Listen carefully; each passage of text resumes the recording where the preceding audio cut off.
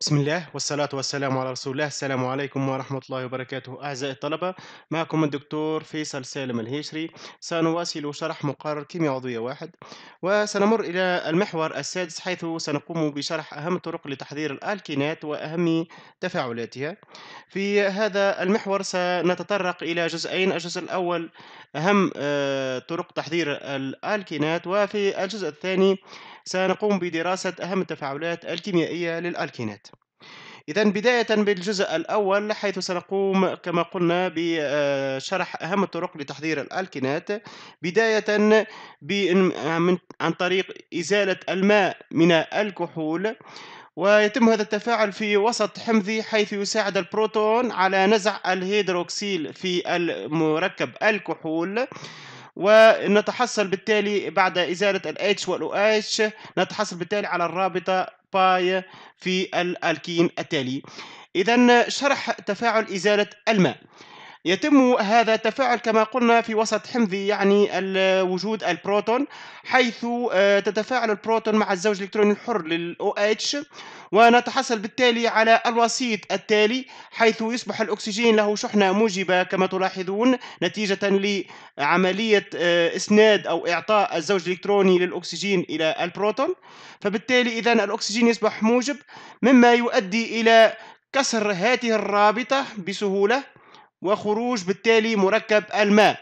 ونتحصل بالتالي على الوسيط المتمثل في الكاربوكاتيون الكاربوكاتيون هذا الوسيط غير مستقر مما يؤدي إلى عملية سحب الزوج الإلكترونات على الكربون بيتا.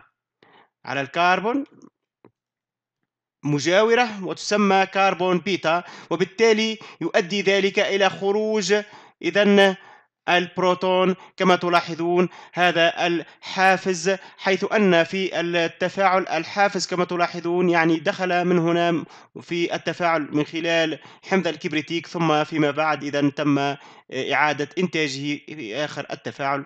وبالتالي نتحصل في نهاية الأمر على الألكين الطريقة الثانية لتحضير الألكينات تتم من خلال نزع الهيدرو هالوجين من هاليدات الألكيل كما يظهر في المركب العام التالي. يتم هذا التفاعل في وسط قاعدي حيث يقوم حيث تقوم القاعدة بنزع البروتون الموجودة على الكربون بيتا بالنسبة ل هنا الكربون بيتا والتي تحمل الهيدروجين هنا. إذا التفاعل هذا يتم إذا في وسط إذا آه، في الإيثانول مع وجود إذا القاعدة المتمثلة في هيدروكسيد البوتاسيوم. شرح التفاعل. إذا كما قلنا هنا فإن القاعدة ستقوم بمهاجمة البروتون الموجودة على الكربون بيتا. حيث أن هذا الهيدروجين يتصف هنا بالحمضية نتيجة وجوده على الكربون بيتا لكربون يحمل هالوجين. فإن هذا البروتون إذا يتصف بالحمضية وبالتالي إذا القاعدة تقوم بمهاجمة ونزع هذا البروتون. وبالتالي إذا يصبح لدينا هنا زوج إلكتروني الذي بدوره سينتقل لتكوين رابطة باي بين الكربون بيتا والكربون ألفا كما تلاحظون هنا.